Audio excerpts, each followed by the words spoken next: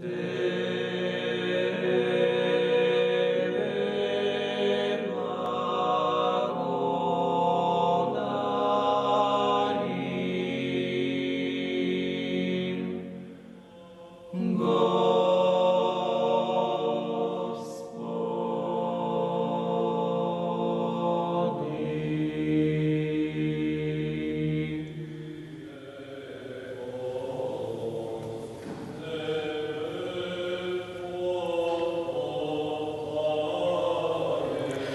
Добро утро, уважаеми зрители на Българската национална телевизия.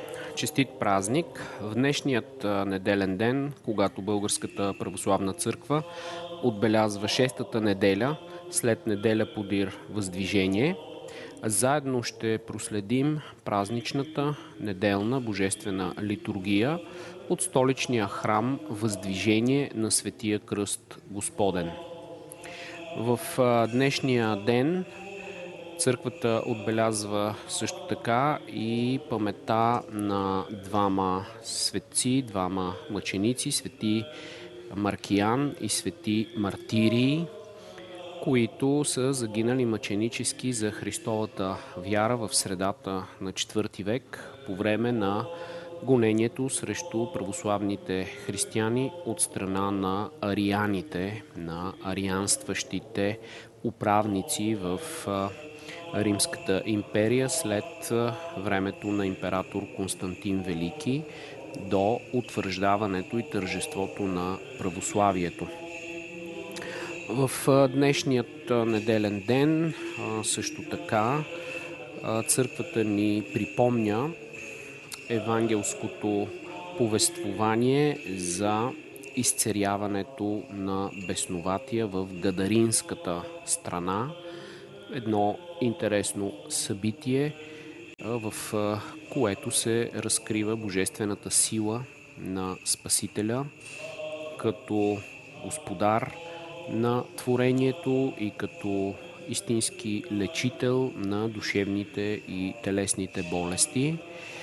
А също така се показва и силата на а, неговата десница при изцеряването и а, господството върху както земните стихии, които преди да извърши това чудо Спасителя укротил в Генисарецкото езеро, така и силата на изцерението, което винаги идва от Бога като един благодатен дар, като едно благословение за душевното и телесното здраве на човека. В момента ние можем да проследим утринното празнично възкресно богослужение, утринната служба, която предшества Светата Божествена литургия. Във всеки неделен ден, когато църквата възпоменава Възкресението на нашия Господ Исус Христос, празничното богослужение включва празнична утринна служба, възкресна утринна и неделна божествена литургия, които са свързани помежду си в общото прославление, общото почитание на великото събитие на Христовото възкресение, което е в основата на Божието спасително дело.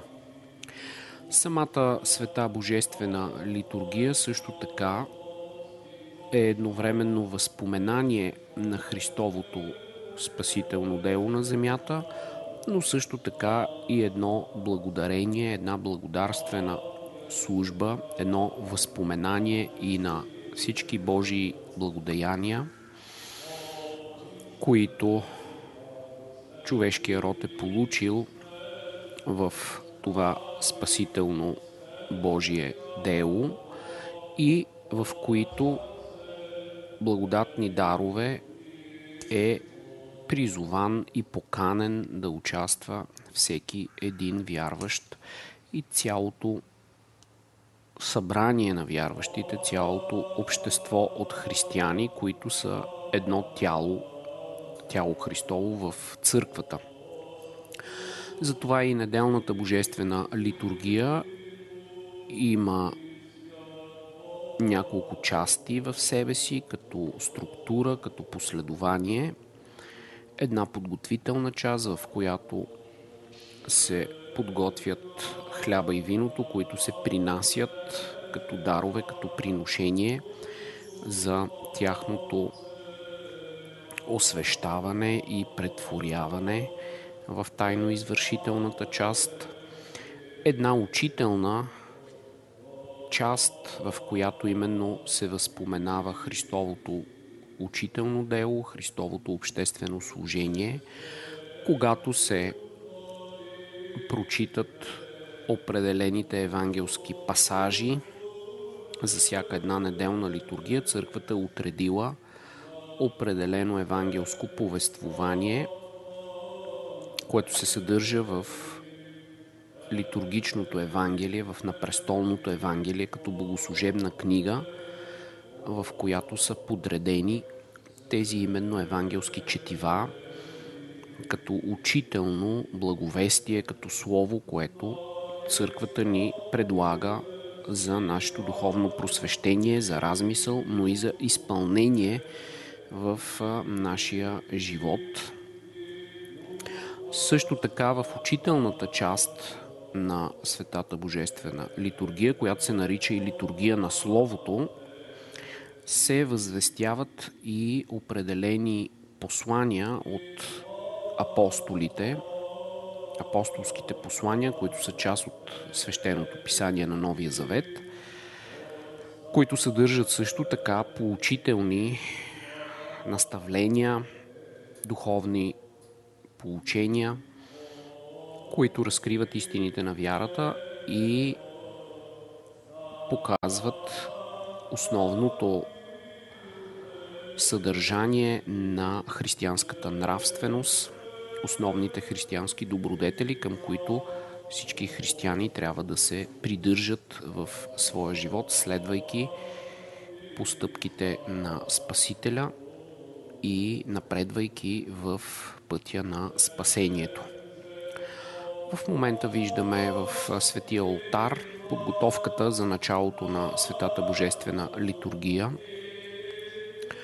Видяхме а, покритите дискус и чаша с приготвените хляб и вино по съответния начин, които изобразяват пълнотата на църквата върху дискуса, по начина по който проскомидията, специалното хлебче, което е подготвено за освещаване и за претворяване в тайнството на Светата Евхаристия, се подрежда върху светия дискус по начин, който да изобрази пълнотата на Вселенската църква, като църквата се моли, отправя молитви и възпоменава всички членове на земната и небесната църква. А в светата чаша се подготвя виното, което ще бъде осветено и претворено. Ето виждаме подготвените вече, т.е подготвителната част, светата проскомидия. Проскомидийният чин вече е отслужен по време на утринното богослужение и предстои началото на Светата Божествена литургия. Чуваме камбанния звън, който призовава вярващите да се съберат заедно на съборно богослужение, на съборна света литургия. И виждаме как свещенослужителите при отворените царски двери се подготвят за началния възглас на Светата Божествена литургия, която възвестява Божието царство, благословеното царство на Отца и Сина и Светия Дух. И за това и Светата литургия се нарича в Православната църква таинство на Божието царство – тъй като по таинствен, благодатен и мистичен начин вярващите християни стават съпричастни, участвайки в това велико таинство, като продължение на тайната вечеря, установено от самия наш Господ и Спасител Исус Христос по време на Тайната вечеря, преди Неговото изкупително дело на кръста и завещано на апостолите да бъде продължавано това преумяване на хляба, това освещаване на чашата с виното в спомен, в възпоменание, но и като едно реално мистично участие на вярващите в тайната вечеря.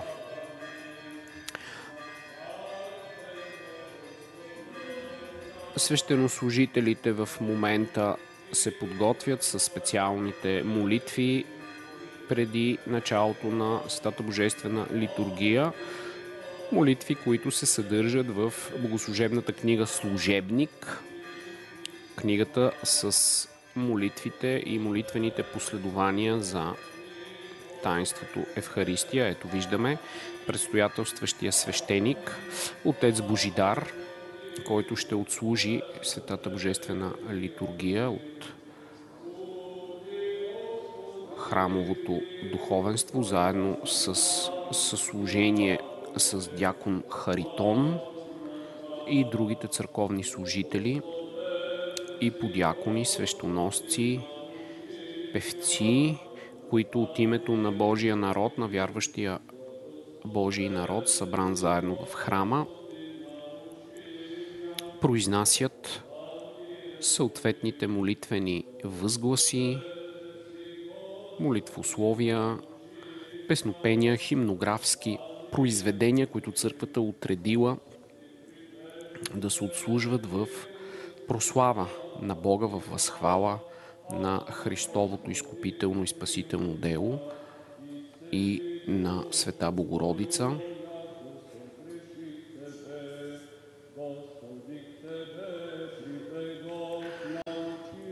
В много от православните храмове песнопенията по време на Стата Божествена литургия се изпълняват и от църковен хор, а последованието на възкресната утринна служба обикновено се изпълнява на клируса, от клирусни певци, от певницата, както в момента виждаме тези заключителни молитви от утринното възкресно богослужение.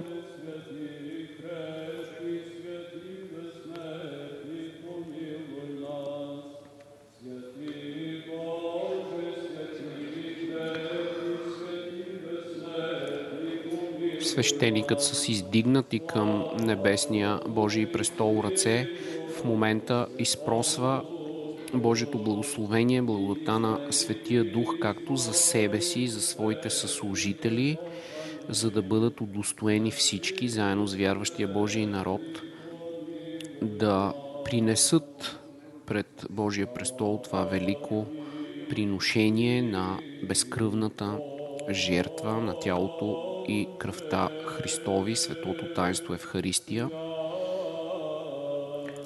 което според учението на православната църква е таинство обединяващо както земната, така и небесната църква, по време на което и небесните ангелски сили славословят Бога в небесната тържествуваща църква, а заедно с тях и в земната църква, която е едно цяло в светата Вселенска, апостолска и неразделна църква, отворените царски двери в момента изобразяват точно тази истина за единството на земната и небесната църква, защото светият ултар изобразява и символизира Божието царство, там където е Божия престол –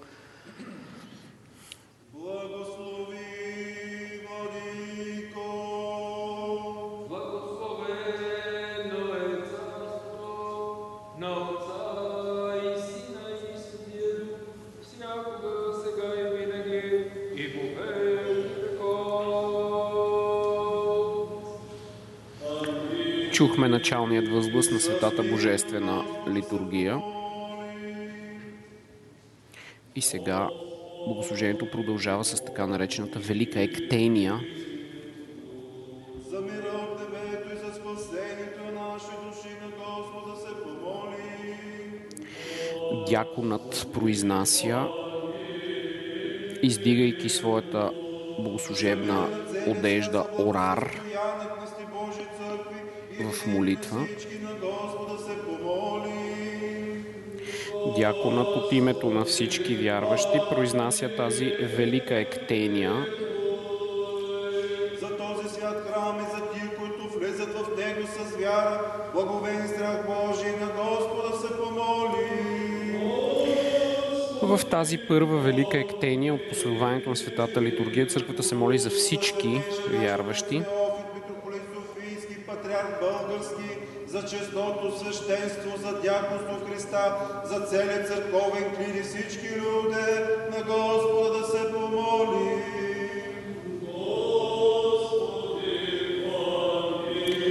чуваме как се възпоменават всички членове на църквата. Православен български народ и за христолюбивото наше воинство на Господа се помоли. Църквата отправя молитва за целия български народ, за христолюбивото воинство и за правителствующия синклит. Всеки и противник на.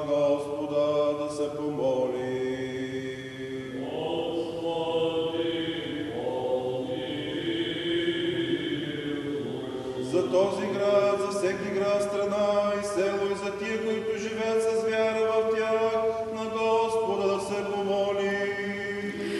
всеки един храм в този момент се отправя молитва за целия град, в който се намира енорията.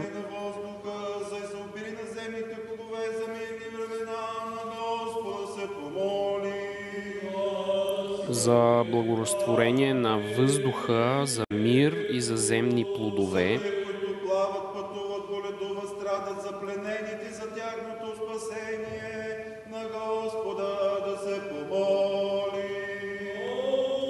всички нуждаещи се, боледуващи, страдащи, които се намират далеч от родината и от дома,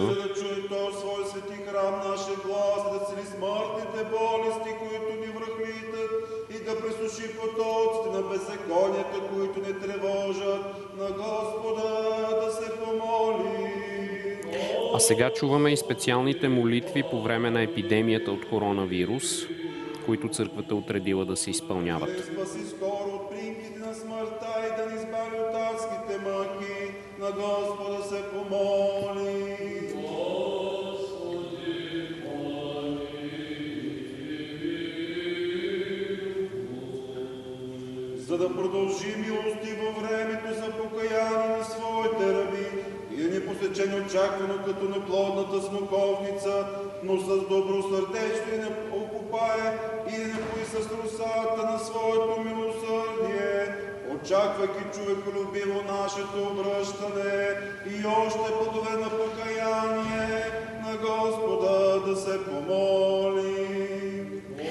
Тези три молитвени прошения Светият Синод въведе в ектенията по време на епидемията. за да се избавим ние от всяка скръп, ням беда и нужда, на Господа да се помоли.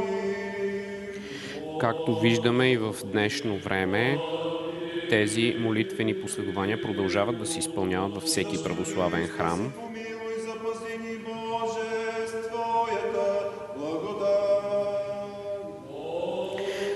Заедно с основните молитвени прошения от Великата Ектения и специалните молитви за предпазване от епидемията. Пресветата, пречиста, преблагословенна, славна владичица наша Богородица и винаги Дева Мария. Нека сами себе си един други го и целия наш живот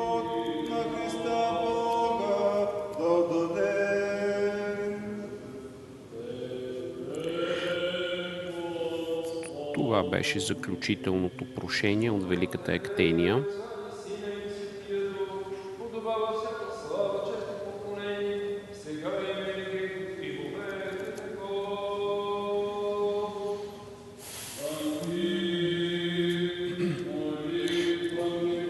Сега чуваме първият антифон, антифонното песнопение, което се изпълнява трикратно.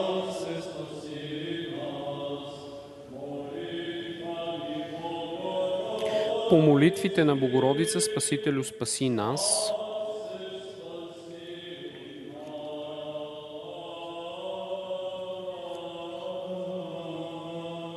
Пак и пак смир на Господа се помолим. Сега Светата литургия продължава с така наречената малка ектения. Като поменем заедно всички свети, пресветата, пречиста, преблагословенна, славна владична наша Богородица и винаги Дева Мария. Нека сами себе си един друг и Бойце на живот на Христа Бога да отдаде.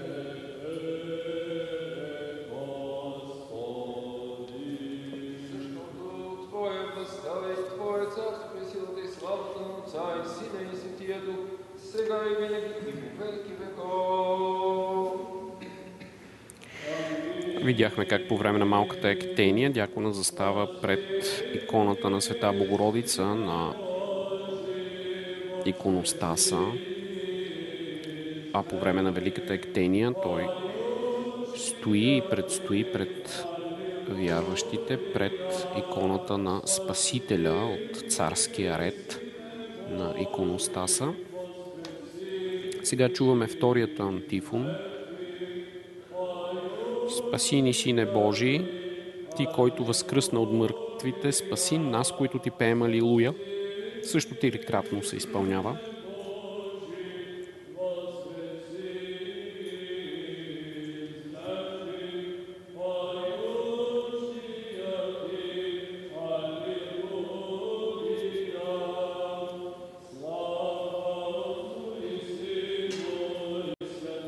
Цялото последование на Светата Божествена литургия представлява една молитва, една усърдна молитва, в която свещеника и вярващия Божий народ в диалог помежду си, но и в диалог с Бога отправят своите молитвени прошения, славословия и най-вече благодарност, благодарствена молитва за спасителните благодатни дарове. Сега чуваме химнат Единородни сине и Слове Божий, който е едно изповедание на вярата в спасителното дело на Сина Божий.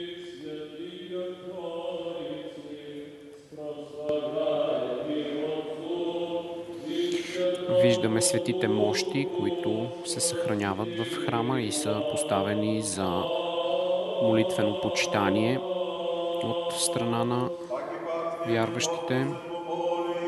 Те се изнасят от светия ултар, когато има празник или се отслужва специален молебен, като акатист, или при определено бедствие, когато трябва с усърдна молитва да се изпроси Божията милост и Божията закрила за вярващите или за целия град.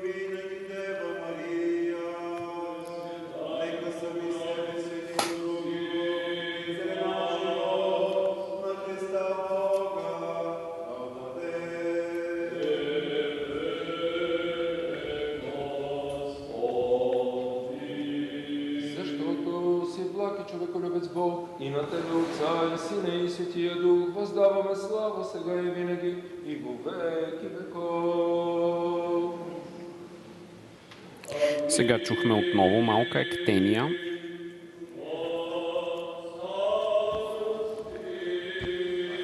Чуваме песнопението в Твоето царство. Помени нас, Господи.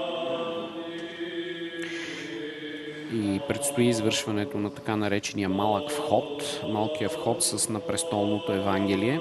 Виждаме как свещенослужителите взимат на престолното Евангелие от Светия престол и го изнасят от Светия ултар в едно литийно шествие през пространството на храма, на кораба на храма, където са се събрали вярващите. И това шествие с Светото Евангелие изобразява излизането на нашия Господ и Спасител Исус Христос на Неговата обществена проповед по време на тази част от Светата литургия, литургия на Словото, се извършва този малък вход.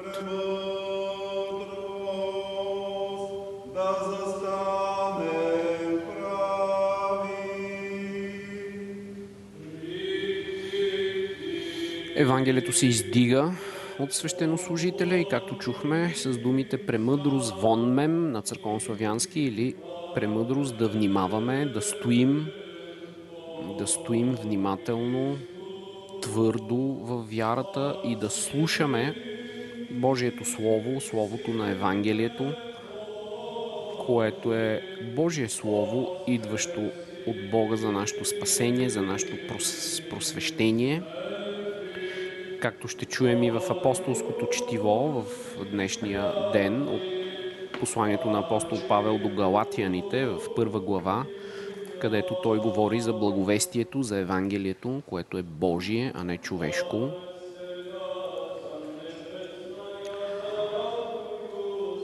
И така, след пренасянето на това Евангелие, богослужебното на престолно Евангелие, което изобразява Божието Слово и идването на Спасителя, както тук на земята, боговъплъщението, защото Светият Ултар изобразява също така и Божието царство и лоното на Отца, от което Сина Божий идва, за да спаси човешкия род.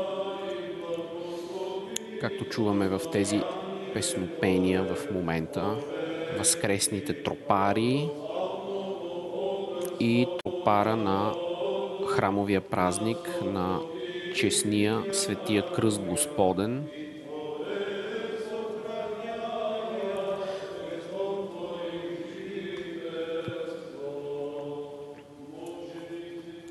Преди да се произнесат апостолското послание и евангелското благовестие, в богослужението на светата литургия се изпяват и произнасят тези песнопения, така наречени тропари, кратки химнографски произведения, които съдържат смисъла на празника или на почитаните светци.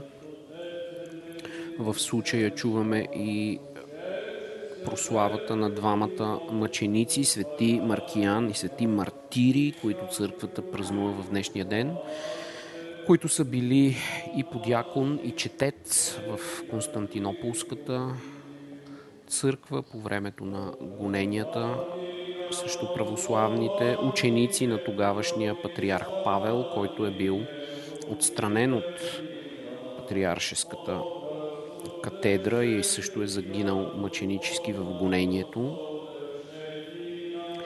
Така както и в нашето богослужение в днешно време виждаме в Православната църква, участват множество и подякони, четци, свещоносци, певци, така и двамата днес чествани мъченици, свети Маркиян и свети Мартири, били такива църковно служители и подякони и четци в Константинополската църква, ученици и последователи на тогавашния константинополски патриарх, които са загинали мъченически за Христовата вяра.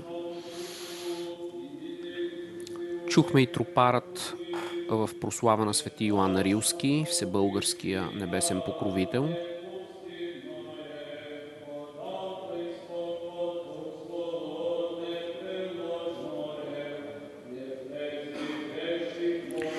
Също молитвени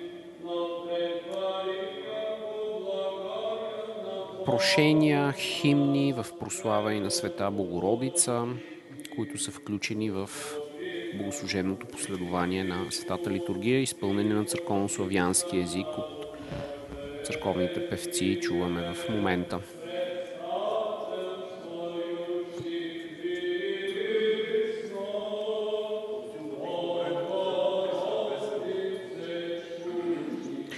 Постоянно чуваме тези химни в прослава на Света Богородица, която е предстоятелка, покровителка, закрилница на вярващите, която в Небесното царство и в тържествуващата Небесна църква се моли за всички нас, за целия християнски род и за цялото човечество. И затова в православната църква имаме много силна почет,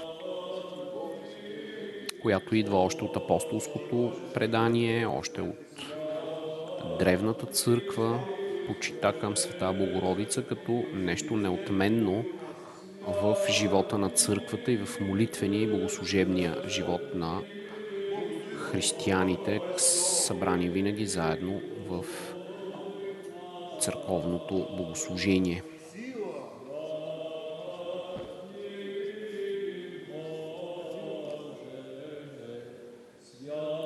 Сега чуваме три светата песен, три сагион, три святое. Свети и Боже, свети и крепки, свети и безсмъртни, помилуй нас, което също трикратно се изпълнява в прослава на Света Тройца, на едната света и неразделна Троица, Отец, Син и Свети Дух.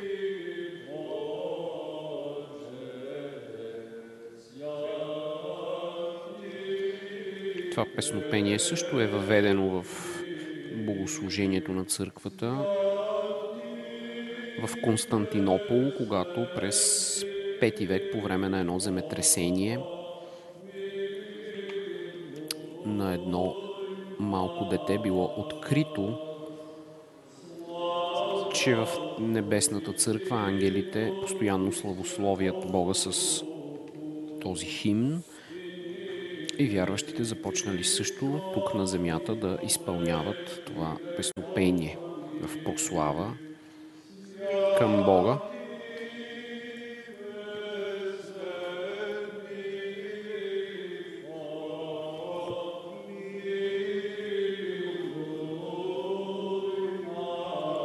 Виждаме през цялото време отворените царски двери, което изобразява именно тази истина за единството на земната и небесната църква, за присъствието на ангелите, ангелските сили, заедно с земната, молеща се, славословеща Бога църква.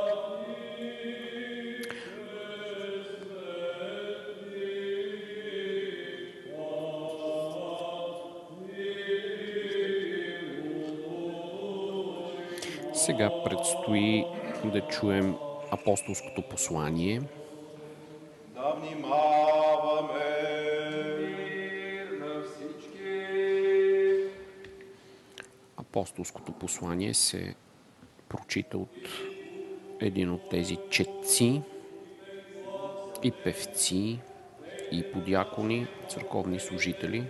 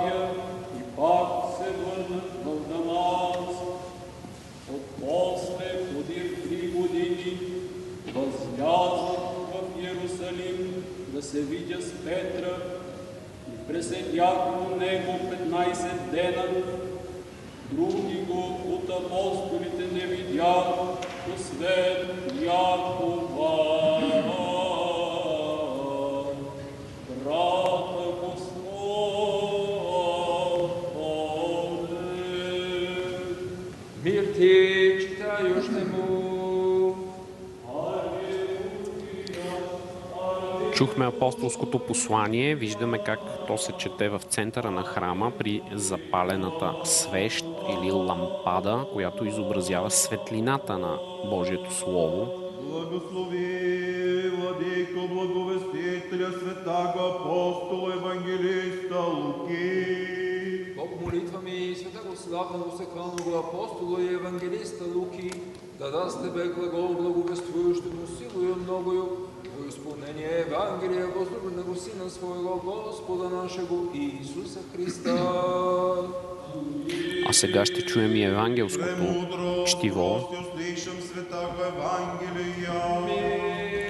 Евангелието се произнася от Амвона, това е издигнато място, От Луки святаго Евангелия, чтение. Което изобразява, че Евангелието слиза свише от божествената висота и просвещава умовете на вярващите. Исус дойде в Кадаринската страна, която е срещу Галилея, а когато излезе на брега, срещна го от града един човек, който от много години имаше бесове и не обличаше дреха и в къща не живееше, а по гробищата. Той като видя Исуса, извика, падна пред него и с висок глас рече, какво имаш ти с мене, Исусе, Син на Бога Всевишни?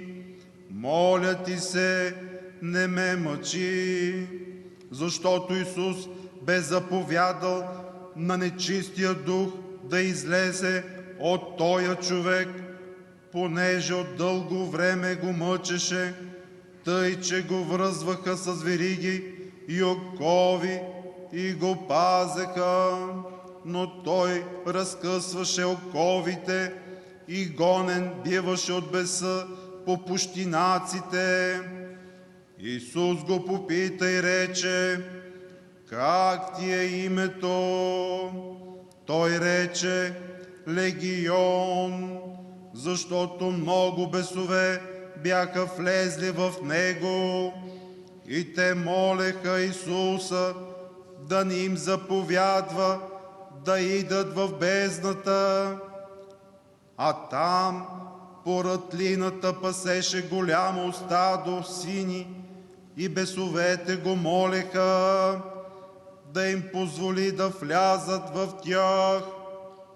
Им позволи, като излязоха бесовете от човека, влязоха в свините и сурна се стадото ни стръмнината в езерото и се издави.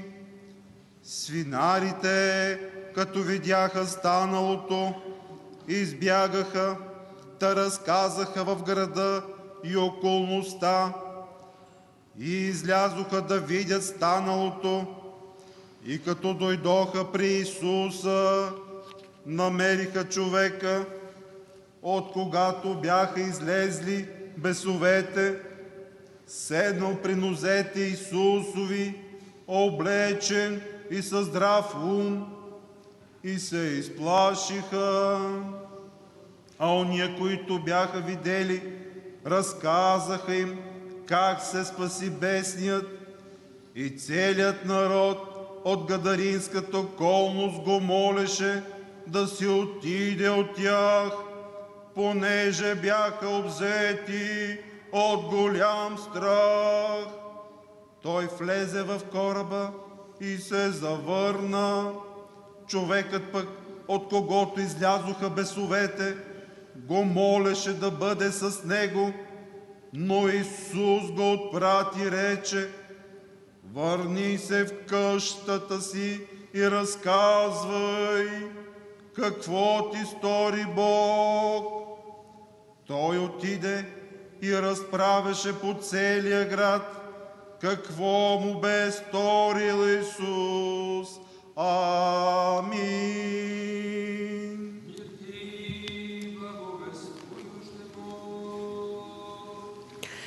Чухме Евангелието според Лука, 8 глава от 26 до 39 стих, в който пасаж се съдържа евангелския разказ за изцеряването на бесноватия от Гадаринската страна. Гадаринската страна е на изток от река Йордан, срещу Галилея. Това е страна, в която живеят езичници. По времето на Исус Христос този град, Гадара, е бил част от така наречения Декаполис, Десетоградие, в което са живеели езичници. Възлюбени в Господа, брати и сестри, сега чухме думите от Евангелието на светия апостол Лука. И целият народ от гадаринската околност го молеше да си отида от тях, понеже бяха обзети от голям страх. Ще стане дума за страха. Често се питаме, защо тази история, този евангелски отказ се чете три пъти през годината. Една от причините, може би е тази, че твърде важно за нас е да не забравяме колко непреклонен е Бог в това да предпочете нас, хората, да ни покаже своята благост, да ни обича и да ни помилва. Какво виждаме тук в тази история? Господ прогонва бесовете от нещастния човек и те влизат в свините и цялото стадо се издавя в морето. Бог извършва пред народа чудо, подобно на едно друго чудо. Чудото с улова, когато Симон Петър, обзет от силна оплаха, казва тежките думи «Иди си от мене, Господи, понеже аз съм грешен човек». Много е важно допълнението, понеже аз съм грешен човек. Ужасът на Симон преобръща душата, прави го апостол, прави го Петър, прави го камък. От този ужас се раждат ловци на човеци. Заради този страх и ужас ние се спасяваме. А гадаринците, които станаха свидетели на подобно чудо, те също се оплашиха, но за тяхно съжаление учтиво помолиха Бог да си отида от тях. Защо? Може би, за да не се намесва в живота им, да не нарушава рутината, да не променя статуквото им, да не спира обичайния ход на тяхното всекидневие. Или страхът им беше не само за делата им, а и духовен, защото са си дали сметка, че пред толкова силен няма скрито покрито. Значи, или ще трябва да се променят, или да си останат същите. Е, те предпочетоха второто. Останаха си същите и загубиха. И отпратиха Господа, и Той си отиде от тях. Откъде идва този страх? Страхът идва от силата на Господа, от невижданите неща за човека, когато се срещне с Него. И още, когато ние не осъзнаваме, че имаме спасение от Него. Също така страх и изпитва виновния, а Бог се пожертва, за да изкупи нашата вина. Във вярата няма страх. Ако наистина обичаме и вярваме, ние не можем и не трябва да се страхуваме. Гадаринците не видяха доброто, което Бог извърши. Те не видяха човеколюбеца, а само чудото, което се случи пред тях. И това ги оплаши. А кога се плаши човек? Когато види голяма сила и застане пред Бога. Но те не разпознаха посредника, нашия Спасител. Братя и сестри, чрез Словото ние трябва да се научим да не ни е страх, да разпознаваме Божията воля и да се доверяваме на любовта Божия. Ние сме я познали в Иисуса Христа, но непрекъснато забравяме и за това, четейки Словото постоянно, трябва да си припомняме колко благ е Бог. Да търсим Неговото присъствие, да не се страхуваме и да го гоним, както го изгониха гадаринците. Стремежът ни е в познание на Божията доброта, присъствие на Божието доверие. И накрая, нека да се насърчим с думите на Господа и винаги да намираме утеха в тях. И който дохожда при мене, няма да го изпъдя вън. Амин. Амин. Чухме проповедта на отец Божидар върху днешното евангелско четиво.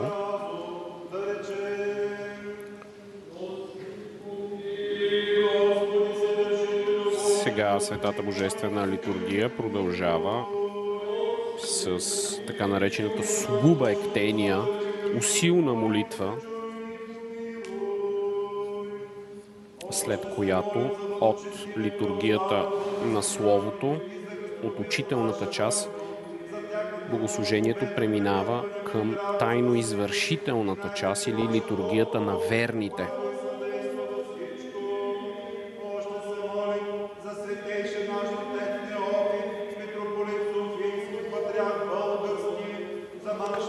В Светия ултар виждаме подготовката за извършване на таинството на Светата Евхаристия.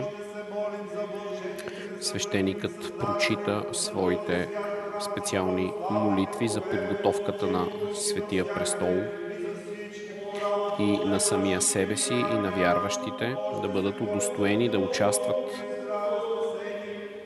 в великото таинство на Светата Евхаристия, на претворяването на хляба и виното в истински тяло и кръв Христови. Затова е и тази сугуба ектения, която също издига молитвите на вярващите към Бога.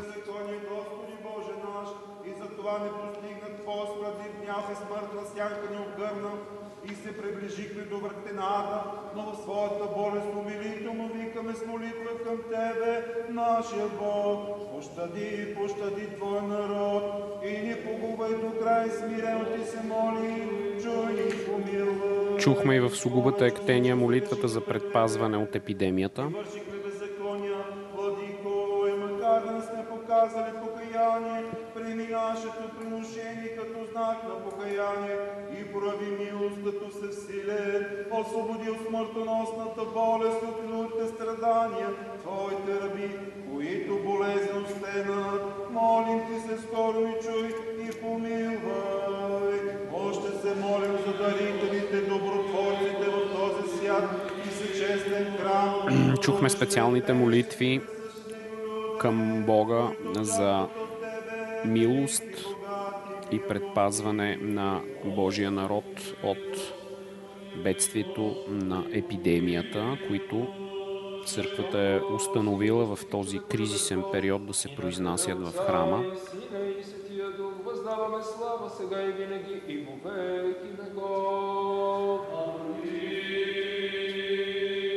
Пак смирна Господ се помоли.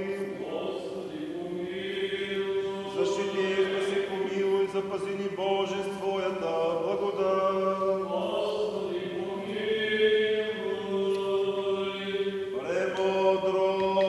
Всякога закрилени от Твоята сила да въздаваме слава на Тебе, Отца и Сина и Светия Дух, сега и винаги и во веки веков. Сега вече с тази ектения богослужебното последование на Светата литургия премина към тайно извършителната част. А сега по време на херовимската песен, която се изпълнява от църковните певци, се извършва и великия вход. След като свещеникът произнесе своята тайно, тайна молитва, в която отново моли Бог да го удостои с тази велика милост да принесе заедно с вярващия Божий народ тази велика жертва, това приношение.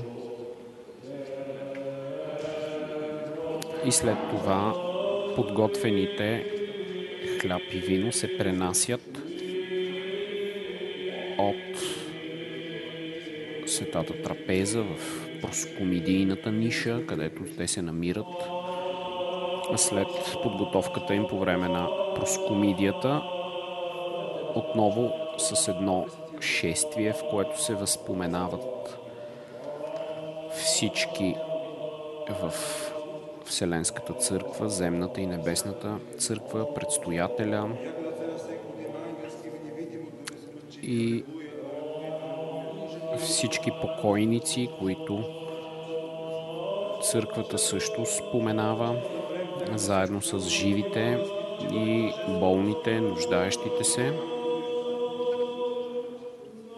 Свещеникът в момента с издигнатите към Бога ръце произнася думите от херовимската песен, в която се казва ние, които тайнствено изобразяваме херовимите и пеем три светата песен на животворящата Троица, нека сега да отложим всяка житейска грижа, да се издигнем в молитвата над земното житейското бреме, над текущите наши задължения и грижи в света, за да принесем с чисто сърце, с благодарствена молитва пред Бога тази велика жертва, това велико приношение и възношение пред Бога, което се извършва по време на тайно извършителната част на Евхаристийния канон,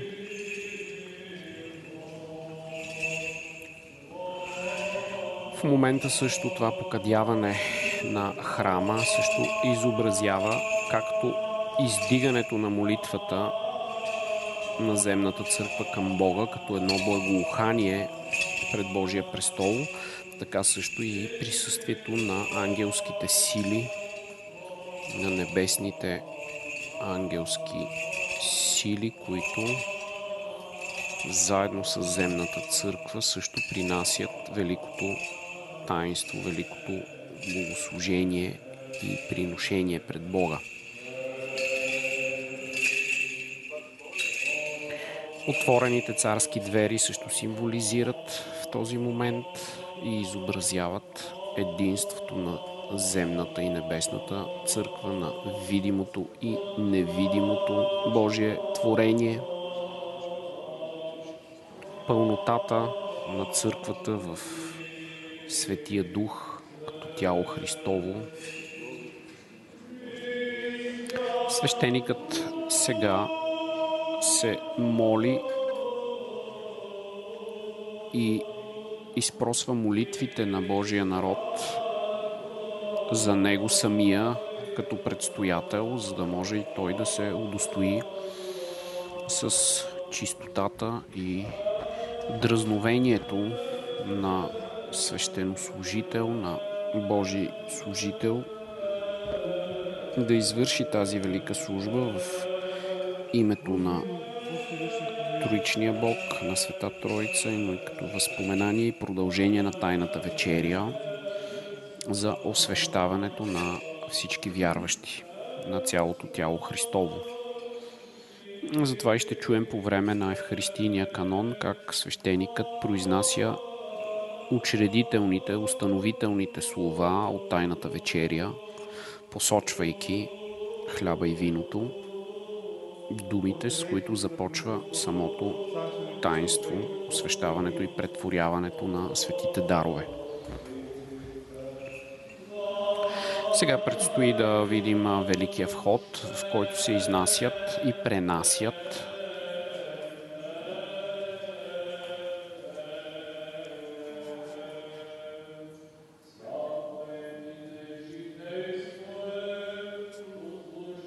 Хляба и виното, покритите дарове,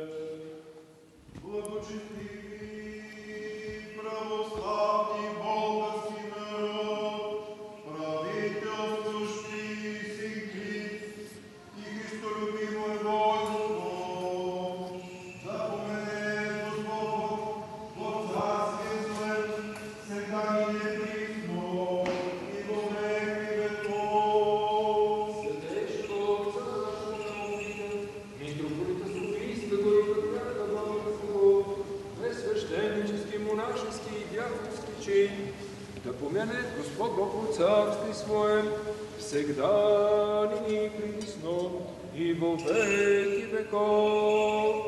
Всех блаженно почивших благочестивих православных царей българских и блаженно почившего освободителя нашего императора Александра Николаевича и всех воинов, падших на поле брани за веру и освобождение Отечества нашего, да помянет Господ Бог в царстве Своем, всегда ныне и присно и во веки веков. Блаженно почивших екзархов наших Антима, Иосифа и Стефана, и блаженно почивших патриархов българских Кирила и Максима, и всех от века почивших архиереев, иереев, монахов, християн, да помянет Господ Бог в царстве Своем, всегда ныне и присно и во веки веков. Ктиторов, приложников, дарителей, благоукрасителей святого храма село, поющих, служащих и труждащих в нем, предстоятелю, настоятелей, священнослужителей, вас и всех благочестивых и православных християн, да помянет Господ Бог в царстве Своем.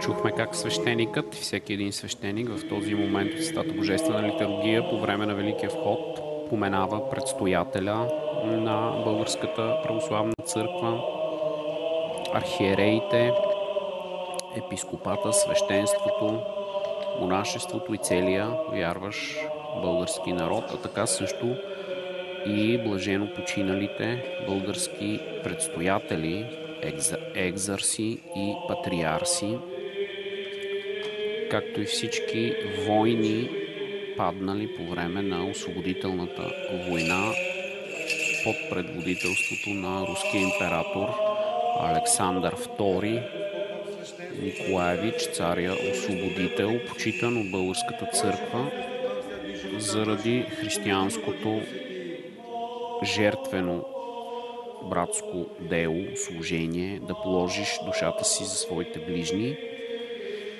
Една традиция, която българската църква неизменно следва след освобождението на България. И с това показва своето истинско братско и благодарствено отношение към подвига на войните освободители. Но също така всички български благочестиви православни царе се поменават в Великия вход, както чухме. Сега започва така наречената просителна ектения вече за принесените дарове.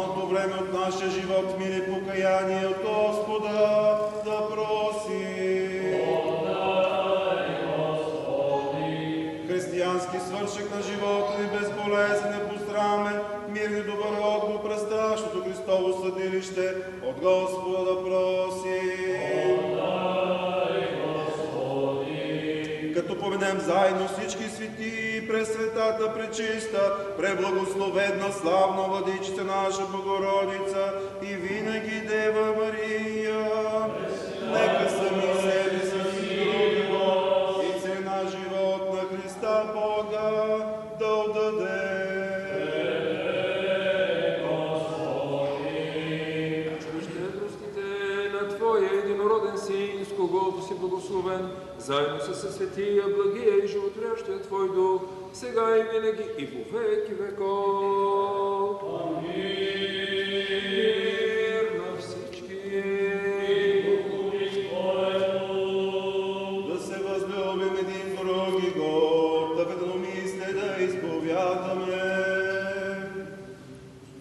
Сега ще чуем символа на вярата, основните истини на православната вяра, която вярващите заедно произнасят като изповедание на своята вяра. По време на литургия на верните, затова така се нарича тази литургия, защото на нея още от древност могат да участват само кръстените, верните, които изповядват съзнателно символа на вярата.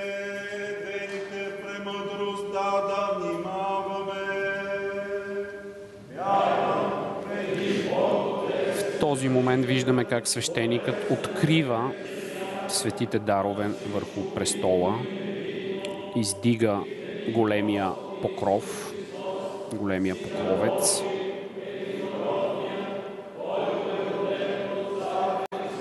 И това също символизира таинството, което може да се види само чрез очите на вярата. Само тези, които изповядват истините на вярата, могат да участват и да приемат това таинство.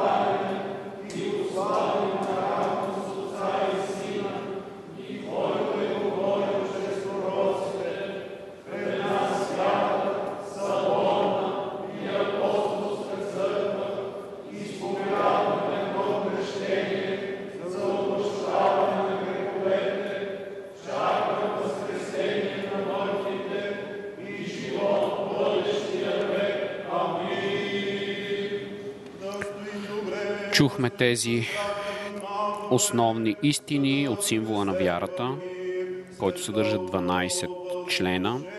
И всеки християнин, православен християнин, трябва да ги знае, да ги разбира и съзнателно да ги изповядва, макар и със своя разум да не можем напълно да обхванем. Затова те са истини на вярата.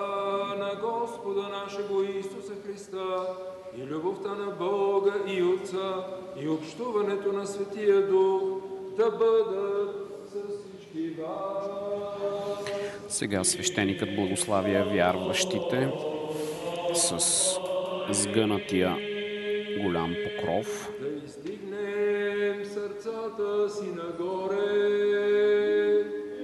Призовава всички да издигнат молитвата и сърцата си към Бога.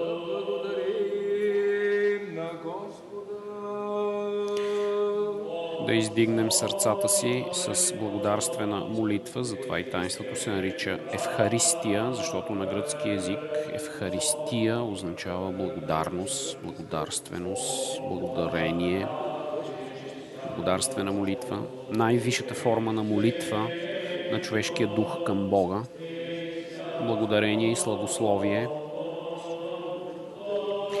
сега свещеникът прочита своята тайно извършителна молитва, вече която е част от така наречения Евхаристиен канон, по време на която ще бъде извършено и самото претворяване на хляба и виното. А небесните сили пеят, възкликват, възгласят победната песен и казват.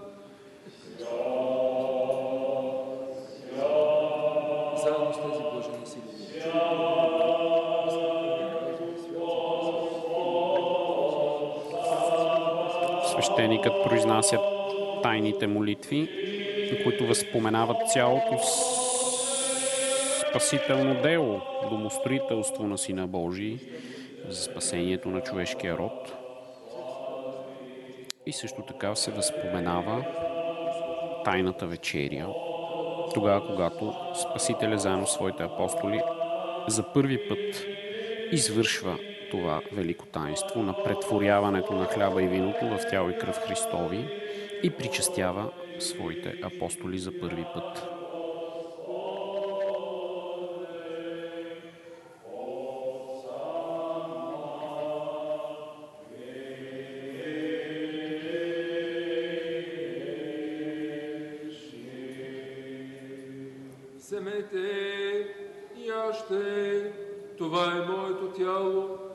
За вас се преломява за опрощаване на грехове.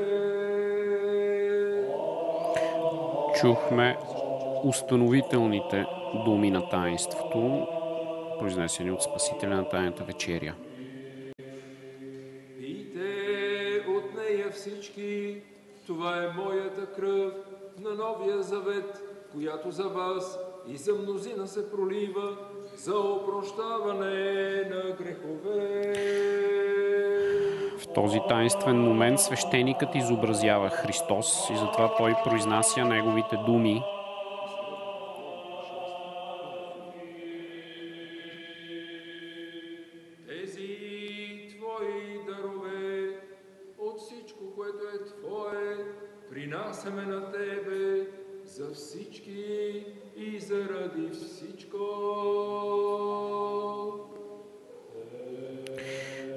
Видяхме как кръстообразно се издигат хляба и виното, Божия агнец и светата чаша, като Божии дарове, които сме получили и които ние отново възнасяме към Бога като благодарствена жертва. И в момента свещеника с издигнати към Бога ръце призовава слизането на Светия Дух в така наречения епиклезис, епиклетична молитва, по време на която според Православната църква се извършва и тайнственото претворяване и освещаване на хляба и виното в тяло и кръв Христови. С тези думи, които чуваме в момента, това е таинството на претворяването.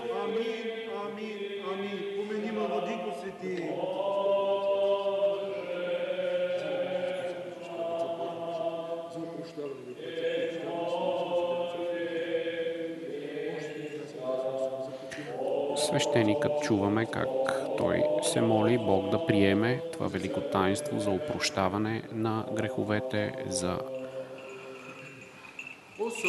душевно и телесно здраве и за вечен живот.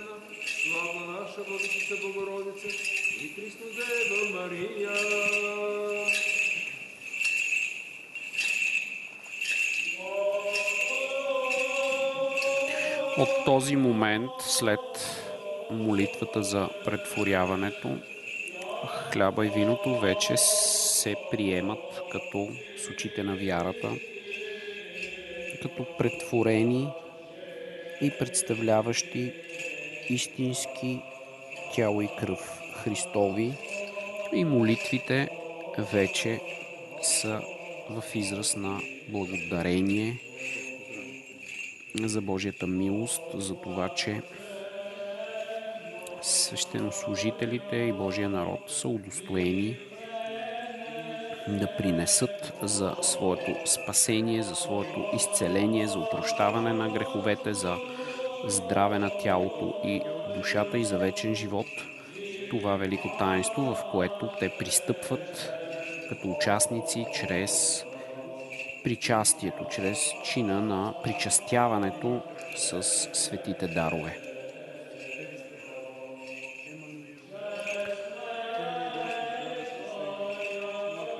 Сега вече се приготвя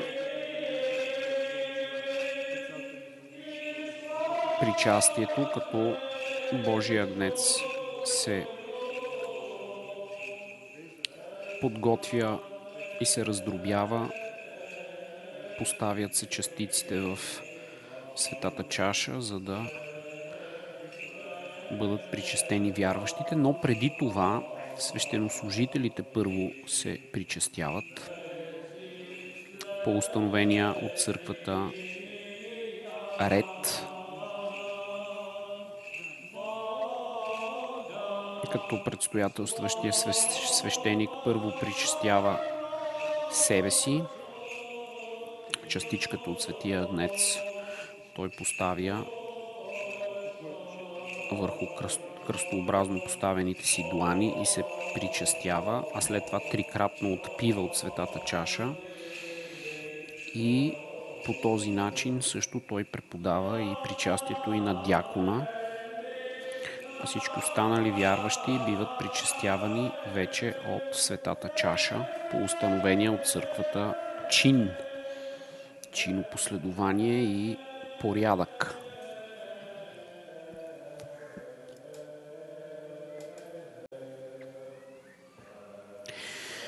А в а, приготвеното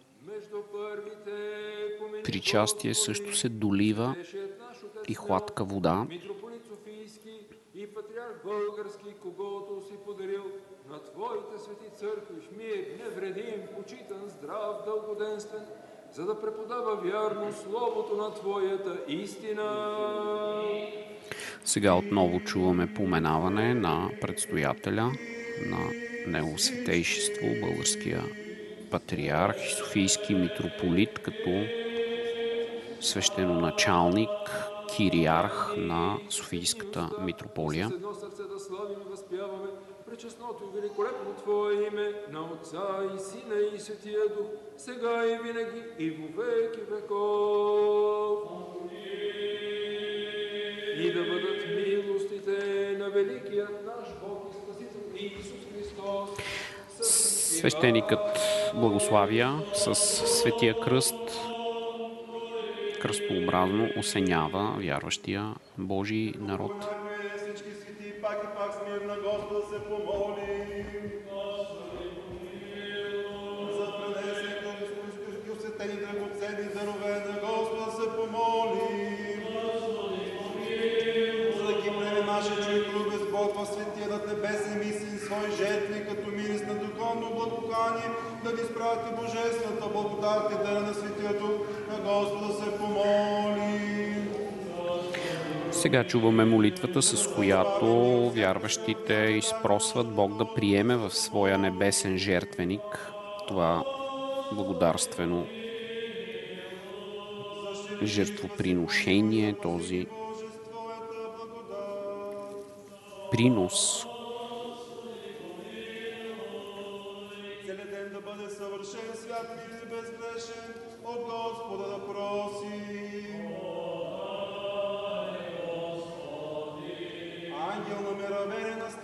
пазител на душите телата ни от Господа просим. Прощение и освобождава от нашите грехове прегрешения от Господа просим. Доброто и полезното за душите ни мир за света, от Господа проси. Да завършим останалото време от живот в мир покаяние от Господа проси. Християнски свършик на живота ни, безболезнен, непострамен, мирен и добър отговор през страшното Христово съдилище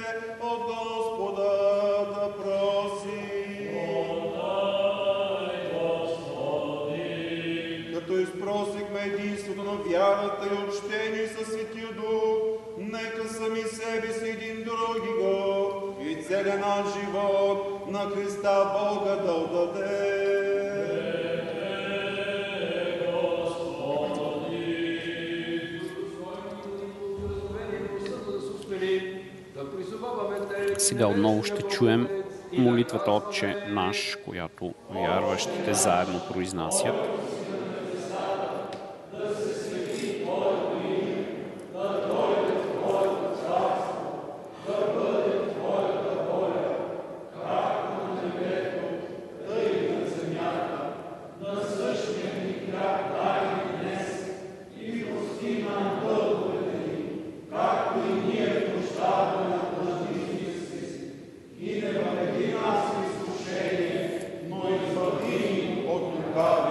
Защото Твое е царство, силата и славата. Молитвата Отче наш в този момент има особен благодарствен характер, заедно с прославата и прошенията, които се съдържат в нея.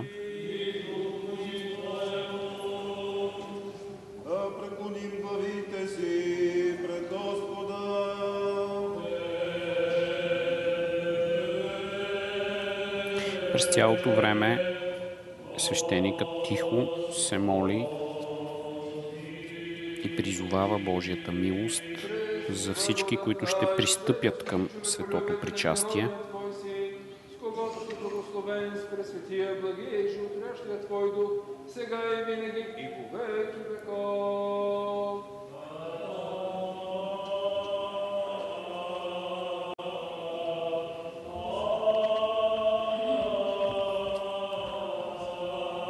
Сега виждаме как се спуска ултарната завеса, което изобразява таинството.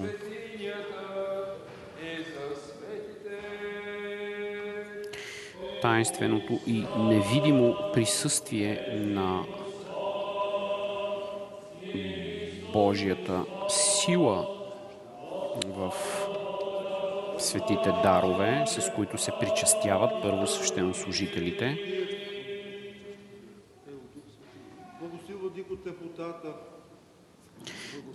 Този момент се долива теплота, хладката вода, която изобразява вече присъствието на благодата на Светия Дух, силата на Светия Дух в претворените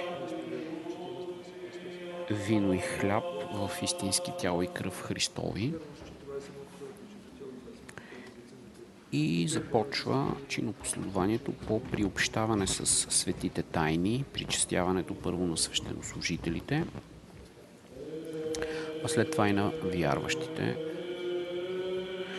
които се подготвят с молитвите, пред причастните молитви, с поклонението пред светините в храма, отдаването на почет на иконите на Спасителя и Света Богородица, а в този момент певците или църковния хор изпълняват така наречените причастни песнопения, в които се разкрива истината за светото причастие, за това мистично единение на човека с Бога чрез приобщаване към тялото и кръвта Христови. Истините, които църквата ни преподава и чрез молитвите, причастните молитви,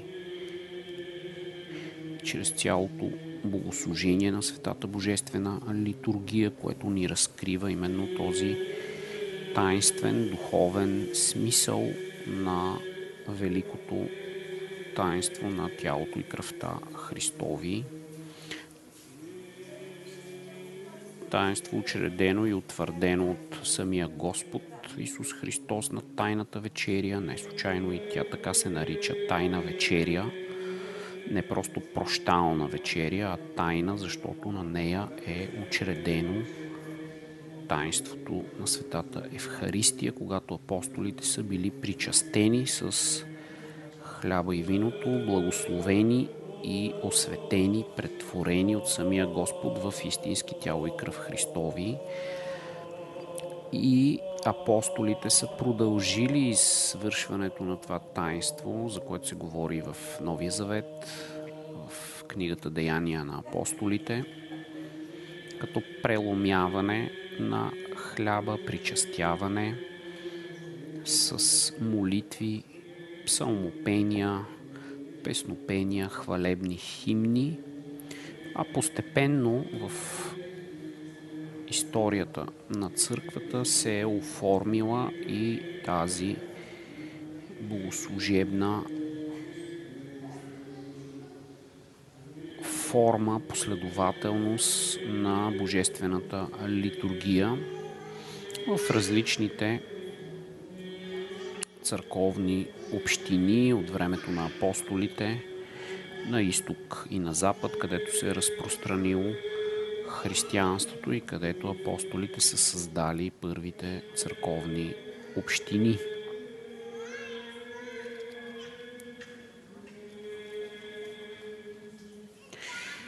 В този момент вярващите християни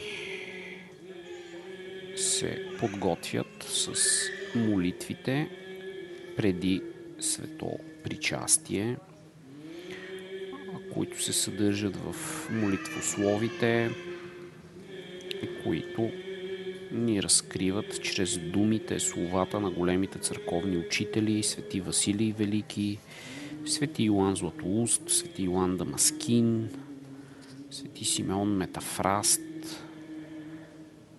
свети Симеон Нови Богослов, тези големи учители и светители на православието и на църквата, които са и съставители на светата литургия, на богослужебното чино последование, което се изпълнява и до ден днешен, записано в богослужебните книги и изпълнявано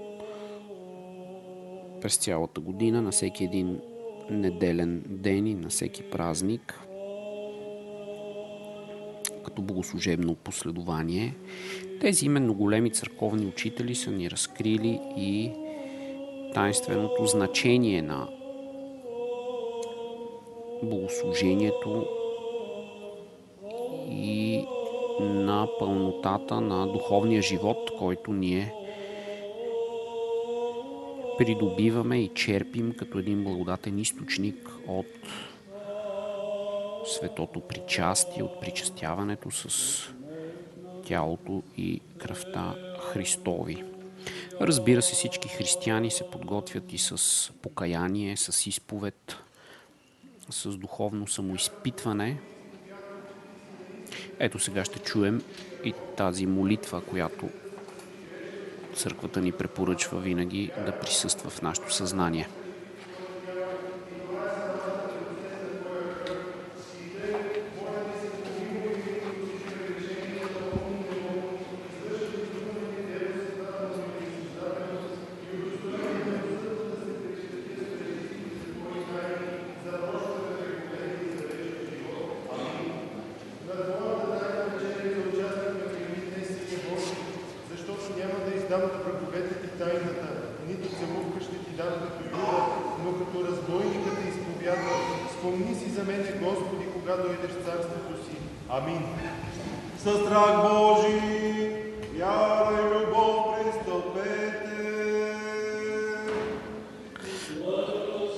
една от тези причастни молитви, предпричастни молитви, които църквата е отредила да се произнасят, в която се казва на Твоята тайна вечеря ме приеми, Господи, защото аз няма да ти дам целувка като предателя Юда, а ще запазя тайната и ще те изповядам като разбойника на кръста. Приеми ме, помени ме, когато дойдеш в своето царство. С това а, отново църквата ни напомня, че винаги трябва с покайно чувство, с покайно настроение и покайна молитва, така както разбойника на кръста е изповядал нашия Господ Исус Христос, изповядал го е с очите на вярата си, е видял и разпознал в Негово лице, макар че Спасителя е страдал на кръста и всички са се подигравали на Неговото страдание. Учениците му също са се изплашили, а при кръста на Голгота са останали само Света Богородица и Свети Йоанн Богослов, които с сърдечно съкрушение и духовна скръп са преживявали Господните страдания, но и не са се съблазнили и отказали от вярата в Него. Виждаме в момента как се причастяват първо децата, най-малките, които църквата приема с тяхната чистота, по думите на Спасителя, на такива е Божието царство и който иска да наследи Божието царство, да се смири като едно дете. А след това и всички присъстващи в храма ще приемат светото причастие. С това нашето пряко излъчване на Светата Божествена литургия от столичния храм Въздвижение на Светия Кръст завършва. Честит празник! Бъдете отново с неделна литургия. Останете с програмата на БНТ 2 и предаването Думът на вярата.